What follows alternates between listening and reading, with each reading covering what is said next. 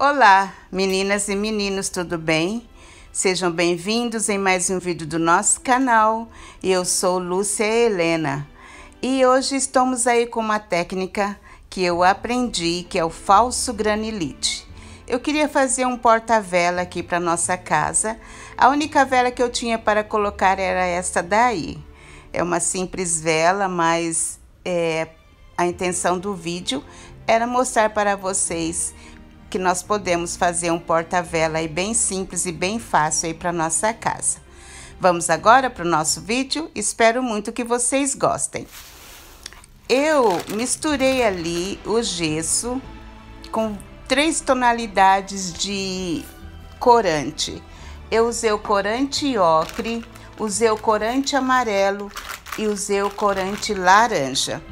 Eu quis fazer dessas três cores que são praticamente é, umas cores que eu gosto bastante. Então, eu misturei ali as três tonalidades. Porque nós vamos fazer tipo uma, uma massa assim para despejar ali no nosso, no nosso saquinho ali e deixar secar um pouco e depois nós vamos quebrar.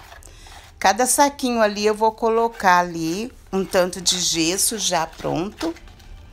Eu não entendo muito de gesso, mas eu amo artesanato, arte feito com gesso. Eu tenho várias coisas aqui em casa que eu fiz, que tem aí no canal, que eu fiz com gesso e eu gosto bastante.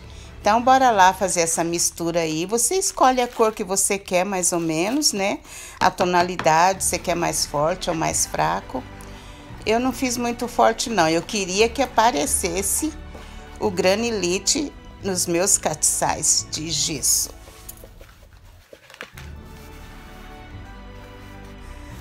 Queria falar para vocês que eu não fui lavando a vasilha não, gente. Eu fui misturando ali as cores na mesma vasilha e deu certo. Não fiquei lavando o tempo todo, né? Porque queria fazer três cores. Eu fiz as três cores ali na mesma vasilha.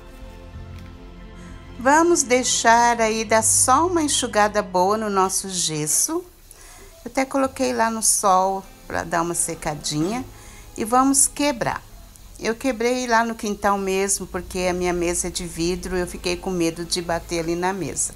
Mas é praticamente isso. Agora é só dar uma quebrada aí. Eu não quis quebrar ele pequenininho, não.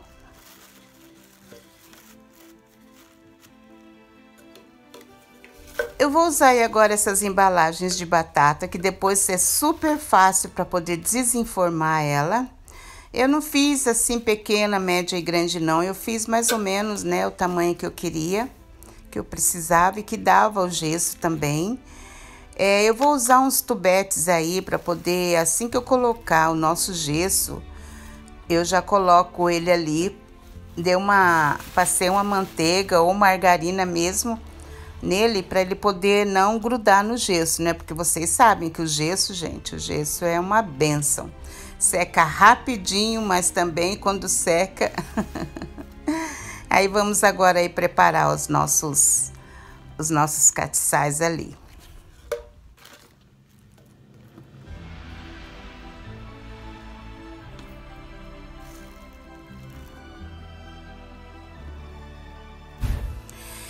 E é isso, meninas e meninos, assim que a gente coloca o gesso ali, você já coloca ali o seu tubetes ali, porque o gesso ele seca muito, muito rápido. e você coloca até aquela marca ali que eu tô mostrando para vocês, que ela tem uma marca ali. Eu coloquei até ali, que daí fica até mais fácil para retirá-la. E vamos preparar as outras duas do mesmo jeitinho que eu fiz esta daí, tá? Eu vou mostrar, eu vou mostrar. A língua é enrolada, gente, perdão. Eu vou mostrar para vocês aí como é fácil desenformar ali esse nosso esse nosso castiçal falso granilito feito em gesso. Eu nem precisava fazer aquela força que eu fiz ali não, gente. Saiu super fácil. E vou usar agora esse, esse estilete aí pra gente poder cortar ali também e retirar um pouco a rebarba que tem ali, tá bom? Quero dizer que eu já gostei de uma textura que ficou ali, um lado rústico. gostei bastante, porque ficou um, uma certa textura ali, né? E eu gostei bastante. Vocês estão vendo como sai super fácil dali? Sai muito fácil. Agora, o que, que nós vamos fazer? Vamos pegar uma lixa média aí e vamos lixar todinho, né? Vou tirar ali em cima um pouquinho com estilete, aquela parte ali. E vamos dar uma lixada ali com água, né? Para retirar ali. Quanto mais você lixa, mais aparece ali o seu granilite.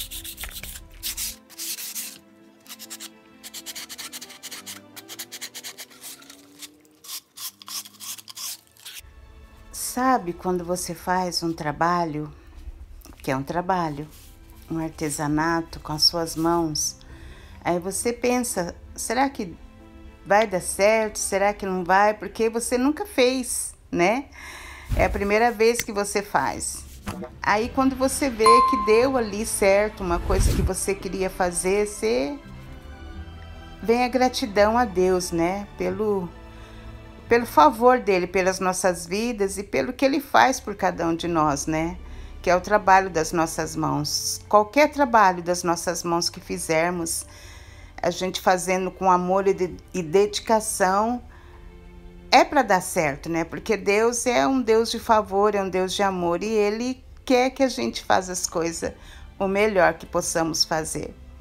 Vou passar agora aí um verniz bem de leve, só para dar uma, uma cobertura aí, né? Um, impermeabilizar um pouco aí o nosso gesso.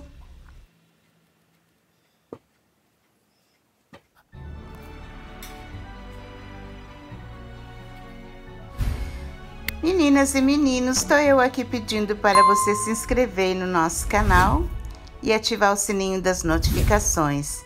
E espero muito que vocês tenham gostado do nosso trabalho de hoje. Essas peças que estão aí, eu tenho vídeo no canal ali, esse vaso ele era amarelo, eu pintei dessa cor kiwi.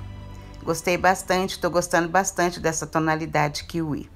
Um grande abraço e até o próximo vídeo. Que Deus abençoe muito todos vocês. Obrigada a todos. Tchau, tchau.